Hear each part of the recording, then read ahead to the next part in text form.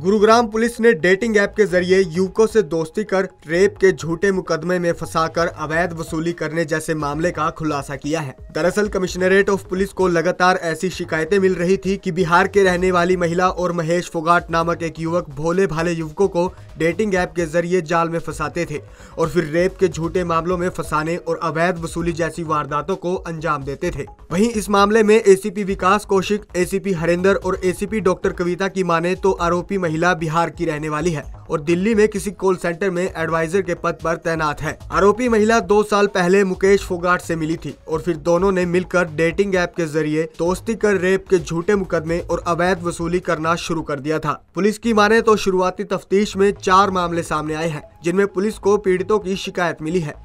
Complaint आई तो हम लोगों ने टीम गठित की और मौके पर जाकर उस व्यक्ति को रंगे हाथ पैसे लेते हुए गिरफ़्तार किया और उसके पोजेशन से पचास हज़ार रुपए जो उसने लिए थे वो भी रिकवर हुए। इसके बाद इनका इशारा ये था कि जैसे ही मुझे पैसे मिलेंगे, मैं लड़की को टेलीफोन करूँगा और वो थाने में जाकर एक राजीनामा लिखकर देकर आएगी। परंतु जब हमने इसे गिरफ़्तार कर लिया, मौके से पकड़ लिया तो ये फ़ोन कर नहीं पाया, जिसकी वजह से लड़की थाने के नज़दीक से भाग करके अपने ठिकाने पर पहुँच गई थी। तुरंत ही एक टीम उसके पीछे लगाई गई लोकेशंस लेकर के उनको, लड़की को भी थोड़ी ही देर के बाद वहाँ से गिरफ़्तार किया गया।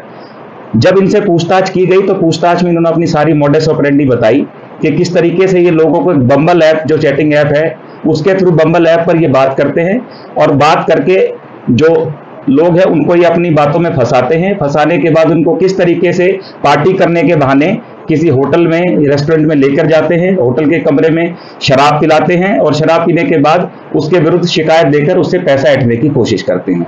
तो हमने इस पे दोनों को इनको गिरफ़्तार कर लिया है और जो भी एविडेंसेस इनके पास से मिल सकते थे हमने लिए हैं और हमारी इन्वेस्टिगेशन अभी चल रही है। क्या कुछ नाम है क्या आरोपी? क्या कुछ कहाँ के रहने वाले हैं? देखिए जो महिला है जिसके विरुद्ध ये मुकदमा दर्ज किया गया है ये महिला मूलतः बिहार की रहने वाली है।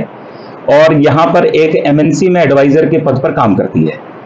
और पिछले लगभग अभी इस, अभी तक की जो पूछताछ पर आया है कि पिछले लगभग एक साल से ये गुरुग्राम में है और हमें इसके विरुद्ध, इसके अलावा भी कुछ मुकदमों के बारे में पता लगा है।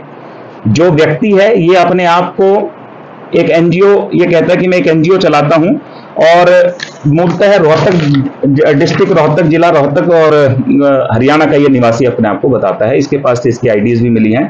और association of health and social justice के नाम से किसी एनजीओ को ये चलाता है, जो इसने बताया, जिसकी हमने अभी तक पुष्टि नहीं की है, जिसके बारे में हम लोग अभी जानकारी प्राप्त कर रहे हैं।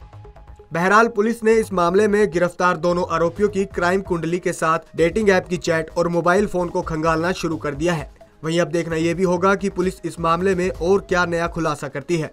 पंजाब केसरी टीवी के लिए गुरुग्राम से नीरज विशिष्ट की रिपोर्ट।